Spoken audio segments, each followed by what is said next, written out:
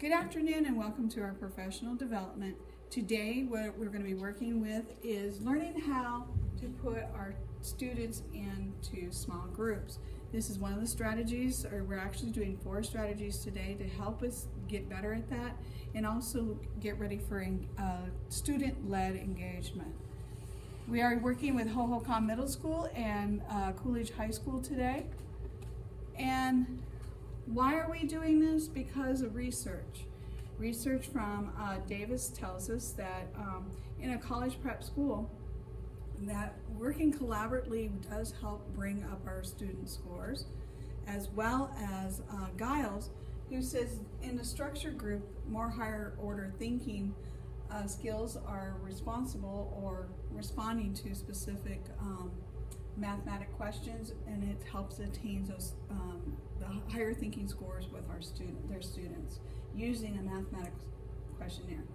The other thing is, is Richie says math teachers working collaboratively and using uh, the form from common um, assessments drove instructional practice to raise student achievement, which we have been watching this year with our Beyond textbooks as well as our informatives that we've been giving our students. Every uh, standard that they're being taught, we've actually seen that growth.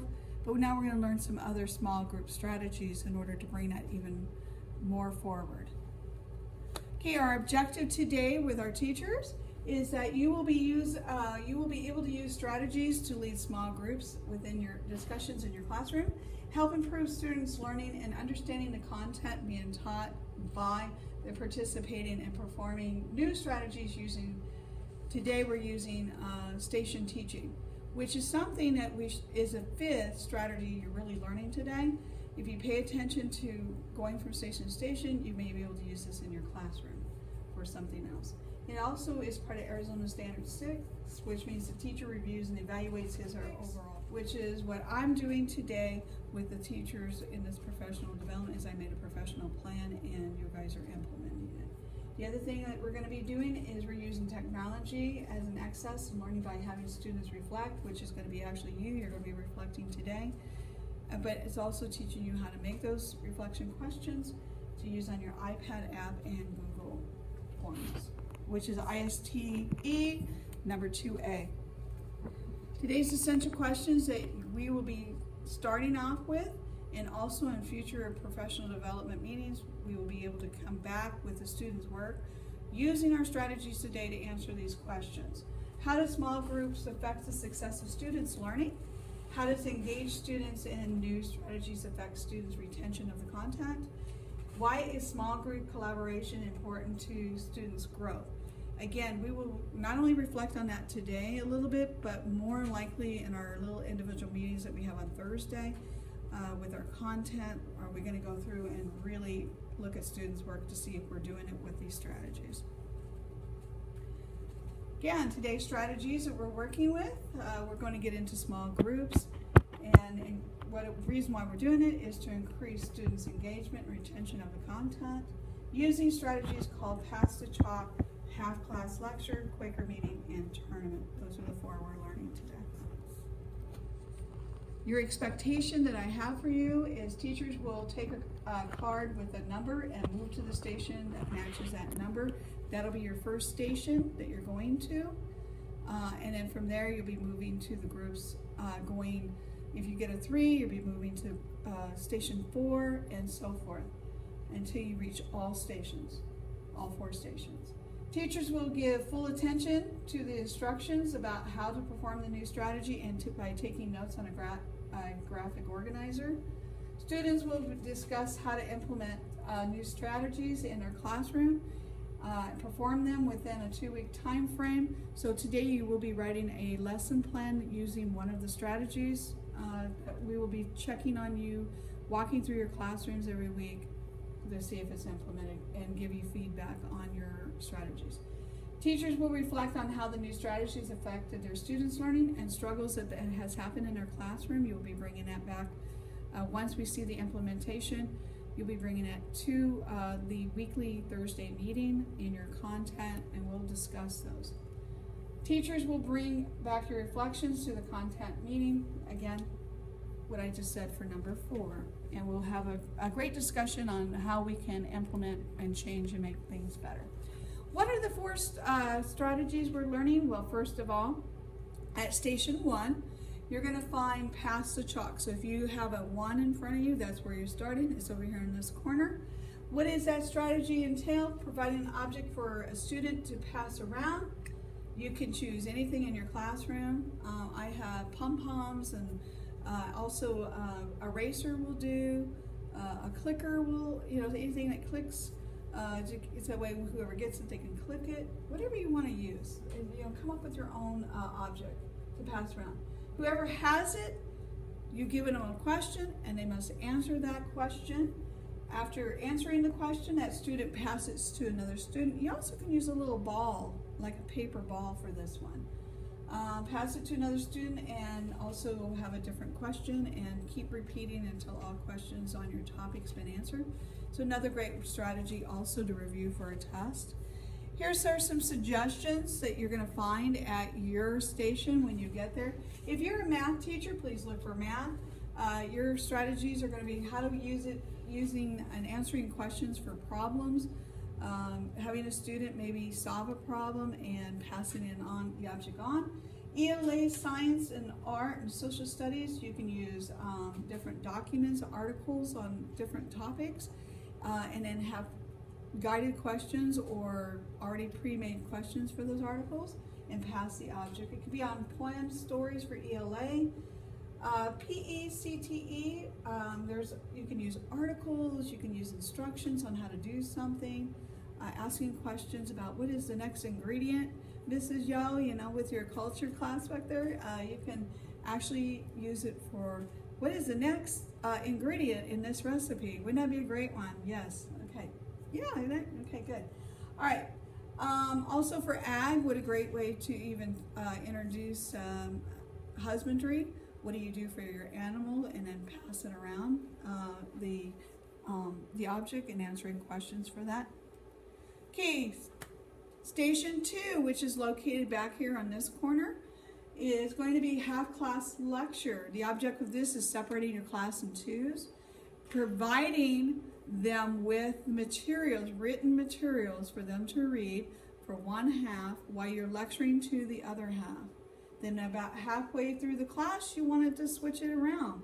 So that way, whoever was reading comes to the lecture, whoever's being lectured goes to the reading materials, and towards the end of time frame, you stop uh, for them to actually go find partners that was not in their groups uh, and have a discussion, pair up, and have ver- and answering various questions about what they learned for that day. Some suggestions again goes back into solving problems, uh, less uh, literacy, dealing with standards, uh, historical historical documents for history and also for science technology, scienti- uh, talking about scientists, uh, art documents on artists, various types of work, and uh, various types of modes of art. PE, history of sports, health related, and athletes. CTE, any documents relevant to your content. You will find some of these within your packet as you go. Third station, which is located in the back corner over here. The objective is to give a student a highlighter so they can go through and a highlight passage of a reading material. And then uh, there's a pause, like a Quaker meeting, uh, until someone volunteers to read their answers that they decide uh, they have chosen to highlight. And it's actually this actually encourage other students to join in the discussion. Well, I didn't highlight that, but I highlighted this. And also, uh, at the end of this exercise, you have your students write a reflection piece.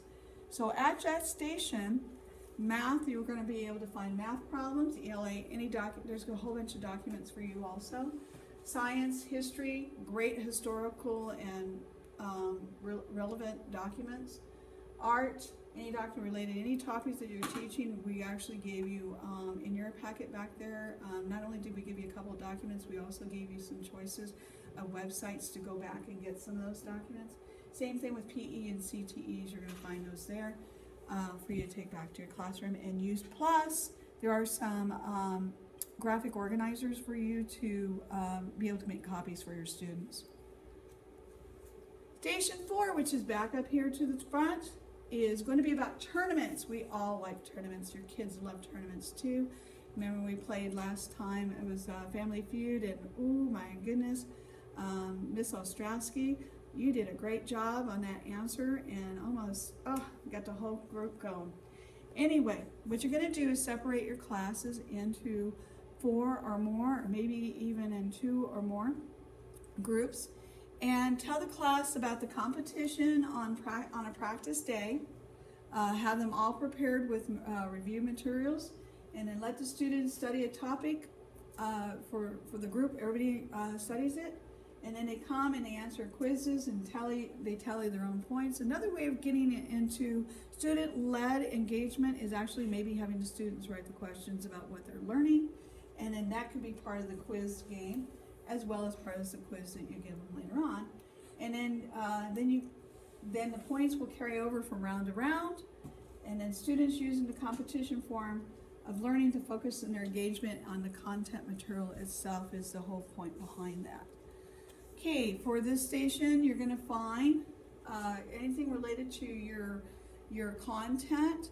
It's going to be in the folder. It's going to be um, for PE. We actually added some stuff like for weightlifting, nutrition, and health uh, review. Uh, CTE review on cooking styles, STEM reviews, military calls, um, agriculture topic ideas for you. Um, the rest of you, uh, it's pretty self-explanatory what you're going to find uh, for quizzes and everything else. Any questions? Okay. Your exit direction is you are to start at the station. It has your card number. Every 45 minutes with your stations will be time, meaning that you will move to the next upper level. So if you're number one, you move to two. If you're at four, you move to one, and so forth.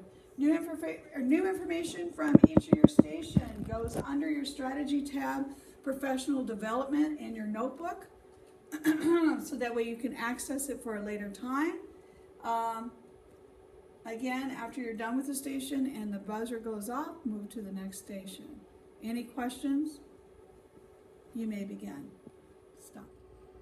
Well, welcome back. I hope we learned a lot from the strategies. I hope we can use them in the classroom. Remember, the master teachers, uh, the administration will be visiting your classrooms this next couple of weeks. You know we've come every week and we will give you feedback on the strategies that you learned today. Also, um, we'll be meeting in two weeks, talk about what you learned from this uh, professional development, talk about any problems that happen in the classroom, any changes we need to make to those strategies, and also bring in student work showing how the students actually main, um, retain the material and um, also they're learning how to perform those strategies. Last thing I need to do for you for today, and then you're ready to go, is please sign on uh, right here, this Google G-O-O-D uh, dot G-L. Please take that survey about uh, what you are, what you learned today. At the very end, remember to look in your mailbox because you will receive a certificate of training.